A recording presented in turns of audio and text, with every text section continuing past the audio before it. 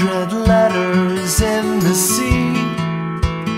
never to be seen and never to be